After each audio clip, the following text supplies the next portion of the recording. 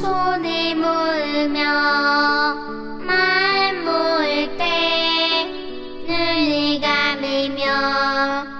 예수님 볼 때 함께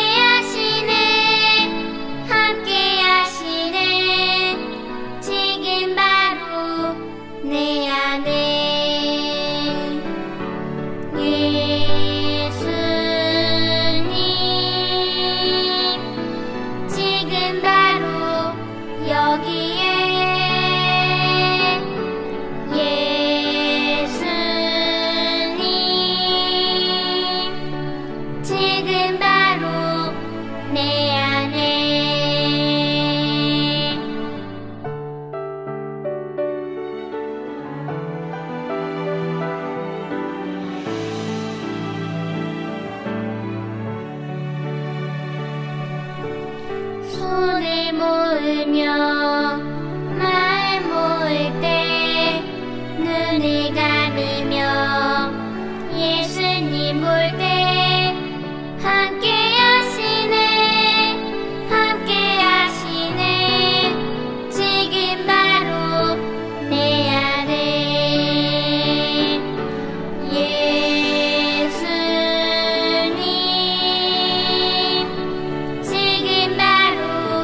여기에